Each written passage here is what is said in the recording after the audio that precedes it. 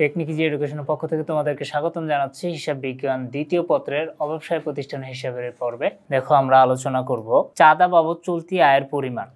এটা হচ্ছে যশোর হাজার উনিশ সালের কোশ্চেন দেখো, দুই হাজার আঠারো সালে একত্রিশে ডিসেম্বর তারিখে সমাপ্ত বছরের জন্য প্রশান্তি যুব উন্নয়ন ক্লাবের প্রাপ্তি প্রদান থেকে আমরা এই কোশ্চেনটা সলভ করব। তো এখানে দেখো, প্রাপ্তি সময় দেওয়া আছে এবং প্রদান সময় দেওয়া আছে। এখান থেকে আমাদের করণীয় হচ্ছে কি, চাঁদা বাবদ এই বছরের আয়ের পরিমাণটা কি করতে হবে, নির্ণয় করতে হবে। তো তোমরা দেখো, এখানে প্রথমে আমাদের চাঁদা আছে কত? এক লাখ নব্বই হাজার টাকা।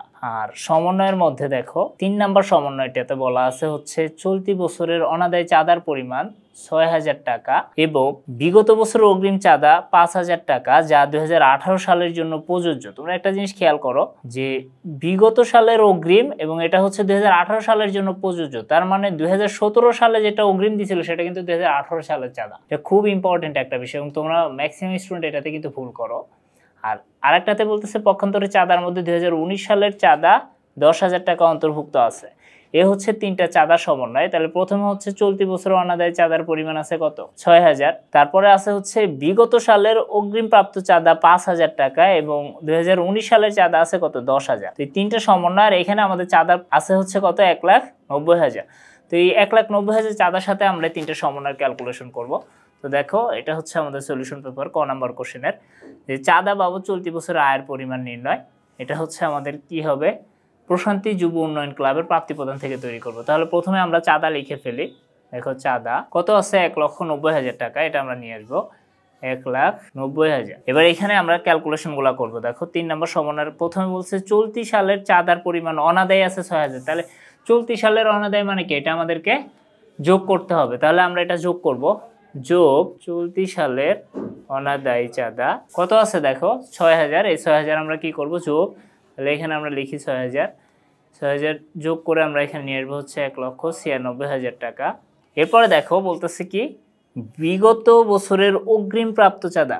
দুই হাজার আঠারো সালের অঙ্ক করতেছি, যদি তোমাকে দুই হাজার সতেরো সালের কেউ অগ্রিম চাঁদা দেয়, তাহলে এটা দুই হাজার আঠারো সালের চাঁদা এবং আমরা দেখো আঠারো সালের অঙ্ক সলভ করতেছি, তাহলে সতেরো সালের অগ্রিম মানে আঠারো সালের চাঁদা, তাহলে এটাও কি এবছরের চাঁদার সাথে যোগ করতে হবে?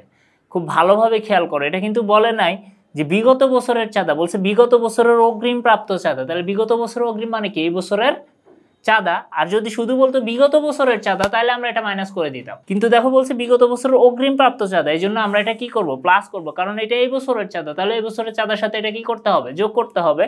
এই জন্য আমরা এখানে কি করব? যোগ করব। যোগ বিগত সালের অগ্রিম, কত? পাঁচ হাজার টাকা। বিগত সালের অগ্রিম পাঁচ হাজার হলে এটা আমরা যোগ করলে আমাদের এখানে আসে হচ্ছে দুই লাখ এক হাজার টাকা। এবার দেখো, বলতেছে পক্ষান্তরে প্রাপ্ত চাঁদার মধ্যে দুই হাজার উনিশ সালের চাঁদা দশ হাজার টাকা অন্তর্ভুক্ত আছে। এবার দেখো, আমরা দু হাজার আঠারো সালের অঙ্ক করতেছি, এখানে বলতেছে দু হাজার উনিশ সালের চাঁদা অন্তর্ভুক্ত আছে। তাহলে দু হাজার উনিশ সাল মানে কি? অগ্রিম।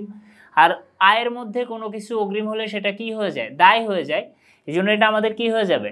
দায় হয়ে যাবে। তাহলে এই দশ হাজার টাকা যেহেতু দায়, তাহলে দায় আমাদের চলতি বছর আয় থেকে মাইনাস করে দিব। তাহলে আমরা এখানে এখন লিখব মাইনাস অগ্রিম চাঁদা। এই অগ্রিম মানে কি? উনিশ সালের চাঁদা। তাহলে অগ্রিম চাঁদা বাদ দিয়ে দিব। তাহলে অগ্রিম চাঁদা হচ্ছে কত? দশ হাজার। এই দশ হাজার আমরা কি করব?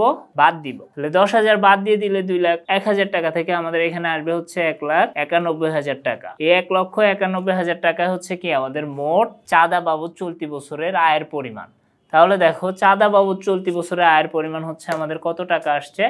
এই যে এক লক্ষ একানব্বই হাজার টাকা। আশা করি তোমরা এটা বুঝতে পেরেছ। তারপর আমি আবার একটু রিপিট করতেছি। চলতি বছরের চাঁদা ছিল এক লাখ নব্বই হাজার, যেটা আমরা এই যে প্রাপ্তির মধ্যে পেয়েছি, এক লাখ নব্বই হাজার নিয়ে আসলাম। তারপর বলছে সমন্বয় চলতি সালের অনাদায় চাঁদা। চলতি সালের চাঁদা যদি অনাদায় থাকে, আমাদের যোগ করতে আমরা যোগ করছি। এরপরে দেখো বিগত সালের অগ্রিম মানে কি দু হাজার আঠারো সালের চাঁদা, এটাও আমরা যোগ করছি। আর উনিশ সালের চাঁদা অগ্রিম পাইছিলাম, এই যে আমরা উনিশ সালের চাঁদা অগ্রিম এটা মাইনাস করছি দশ হাজার করে, আমাদের এক লাখ একানব্বই হাজার টাকা আসছে, এটা হচ্ছে চলতি সালে, অর্থাৎ দুই সালের চাঁদা বাবদ আয়ের পরিমাণ। তো এরপরে আমি তোমাদেরকে দুই হাজার উনিশ সালের যশোর বোর্ডের খ নম্বর কোশ্চেনটা সলভ করে দেখাবো। সে পর্যন্ত তোমরা সবাই ভালো থেকো এবং আমার সাথে থেকো। আজ এ পর্যন্ত আল্লাহ হাফেজ।